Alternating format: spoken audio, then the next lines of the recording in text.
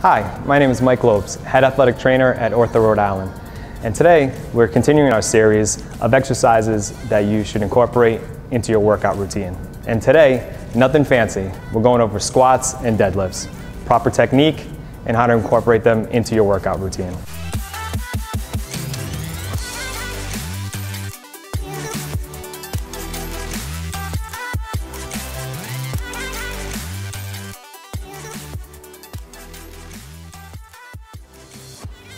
So with the squats, you're gonna start with your feet shoulder width apart, heels under your shoulders. You have your feet approximately 30 degrees out, feet flat on the floor. You're gonna have your knees out, in line with your feet. You're gonna bend your knees and hips at the same time. Back stays nice and straight and goes down at an angle. The bar should be moving in a straight vertical line over your midfoot. And you wanna try to break parallel with each repetition. Once you break parallel, your hips go straight up. Keep your knees out, chest up, head up, and keep your head in line with your torso. So as you're performing each repetition, you're now looking up at the ceiling or down at the floor.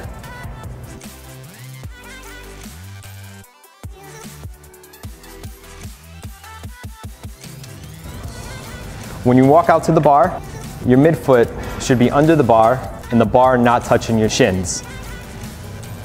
Have your feet hip width apart, so not as wide as the squat and not as rotated out. So you're looking at probably 15 degrees or so uh, as opposed to the 30 with the squat.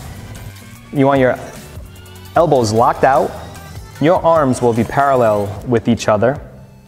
When you grab the bar, you want to engage your lats and take the slack off the bar.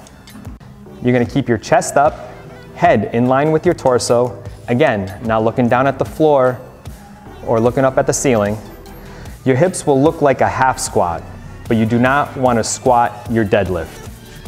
As you engage your core, push your feet through the ground or spread the ground apart and lift the bar up off the floor.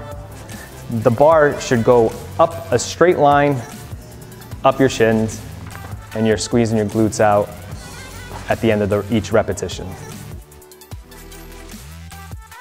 With both of these lifts, these are recommendations, right? This is how it should be done, but everybody is shaped different. Uh, you're taller, shorter, longer torso, uh, longer legs. Um, everybody has different mobility, uh, different strength.